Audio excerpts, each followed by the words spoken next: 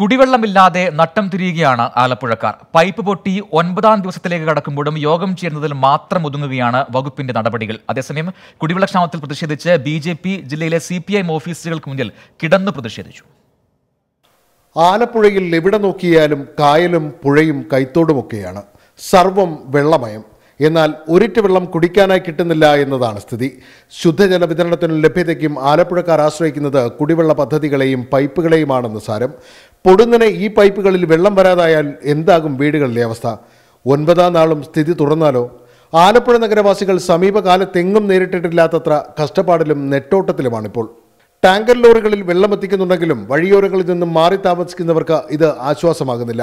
സ്വകാര്യ ആറോ പ്ലാന്റുകളെയും കുഴൽക്കിണറുകളെയും ആശ്രയിക്കാതെ ഇവർക്ക് മാർഗമില്ലെന്നർത്ഥം അതേസമയം പ്രശ്നപരിഹാരം ആവശ്യപ്പെട്ട ബി ജെ പി പ്രവർത്തകർ കഴിഞ്ഞ ദിവസം മന്ത്രിമാരായ ജി സുധാകരൻ തോമസ് ഐസക് എന്നിവരുടെ ഓഫീസിന് മുന്നിൽ കിടന്ന് പ്രതിഷേധിച്ചു.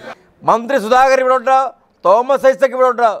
ബന്ധപ്പെട്ട ആൾക്കാർ അടിയന്തരമായിട്ട് ആലപ്പുഴ കളക്ട്രേറ്റിൽ യോഗം വിളിച്ചുകൊണ്ട് തീരുമാനിച്ച പോരെ? ഈ തീരുമാനമില്ല. ഇത് തീരുമാനം ഉണ്ടാകാതെ ആരൊക്കെയോ കൂടി ഈ പദ്ധതി മുഴുവൻ അട്ടിമറിക്കുകയാണ്. റോഡിനടിയിലൂടെ കടന്നു പോകുന്ന പൈപ്പുകൾ മാറ്റിസ്ഥാപിക്കുന്നതിന് പി ഡബ്ല്യു ഡി അനുമതി കിട്ടാത്തതാണ് പണിക്ക് തടസ്സം. ആലപ്പുഴ കുടിവെള്ള പദ്ധതിയിൽ മൂന്ന് വർഷത്തിനിടെ പൈപ്പ് പൊട്ടിയത് നാൽപ്പത്തി മൂന്ന് തവണ. അറ്റകുറ്റപ്പണി ചിലർക്കെല്ലാം ചാകരക്കാലവുമാണ്. എന്തായാലും ഒരു നാട്ടിലെ രണ്ട് ലക്ഷത്തിലധികം ജനങ്ങളുടെ കുടിവെള്ളം ദിവസങ്ങളായി മുട്ടിച്ചിരിക്കുന്ന അധികൃതർക്കെതിരെ പ്രതിഷേധം ശക്തമാകുകയാണ്. ട്വന്റി ആലപ്പുഴ.